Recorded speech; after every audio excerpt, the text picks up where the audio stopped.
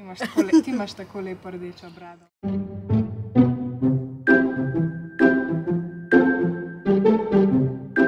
Dobrodošli v novi mesečni rubriki, ki se imenuje Nova runda s Katko in Katjo. In tokrat v današnji edici gospod Andraš.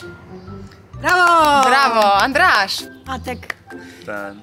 In ker uh, sva midve v pričakovanju, v pričakovanju, sva se odločili, da se bova pomerili v tem, koliko sva pripravljeni biti mamici.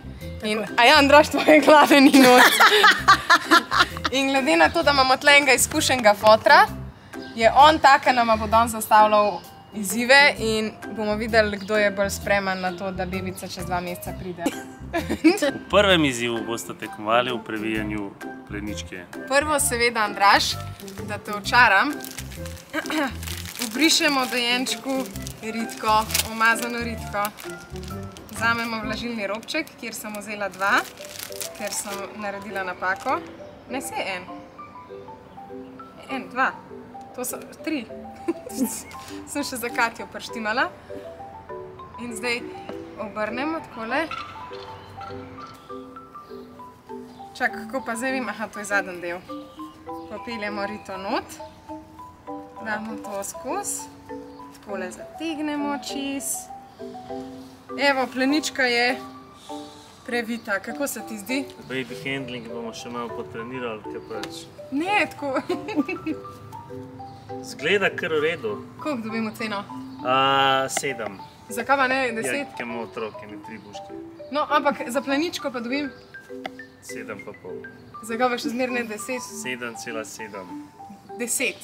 Dojenčka previjemo tako, da gremo pod eno nogo, primemo drugo, dvignemo in brišemo. Vedno brišemo od sprednje strani nazaj, zaradi tega, da ne dobimo drekca. Reka s po hrbtu. In potem vlažilne robčke vedno spravimo v prejšnjo umazano plenico, zato da lahko vse skupaj lepo zavijamo, da čim manj smrdi.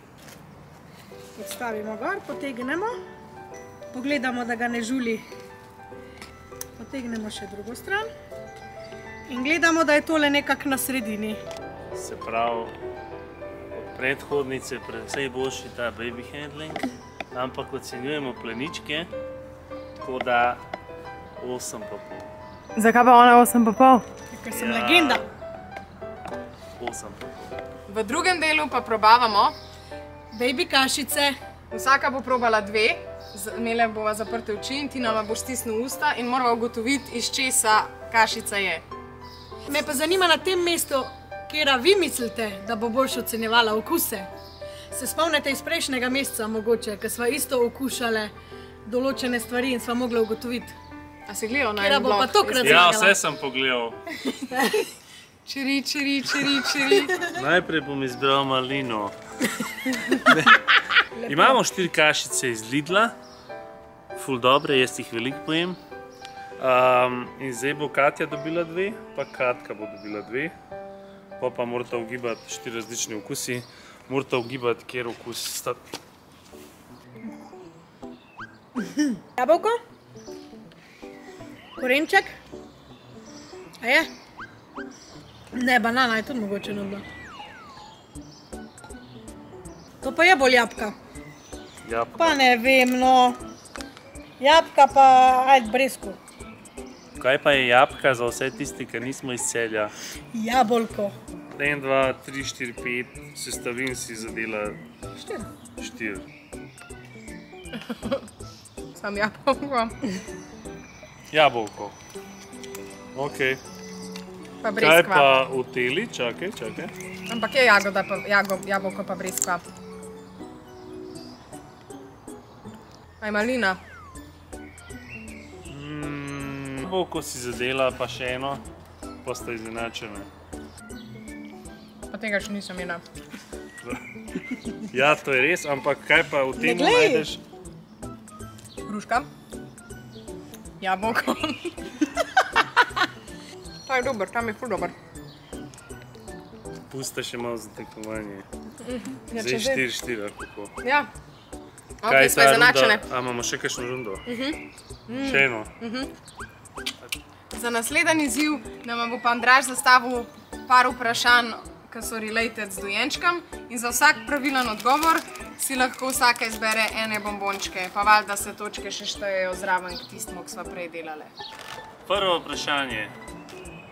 Kdo je ati od otrok? Kdaj otrok po joku potoči prvo solzo?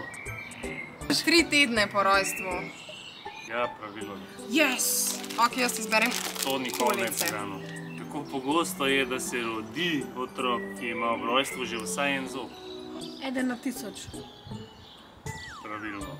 V kateri roki dojenčka drži, nosi in uspava večina mamic? Desni. Ne v levi. Ja, ne moreš si zdaj V desni. V desni. Narobe. Ta, ta, ta, ta. Kako pogosto se na svet rodi nov dojenček? C, vsake tri sekunde. Odgovor je pravilen. Bravo! A damo, da je zadnje vprašanje vredno dve točke. Dajmo, ja. Koliko krat na dan kakajo novorojenčki? Tri, tri. Ne, no, kako? Lulajo vsake 20 minut. Lulajo že v materinem trebuhu.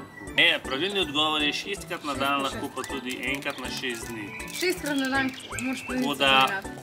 Da- dobro, da znata ne, tako dobro plenico prebijati. menjaš, ne sem kokaka.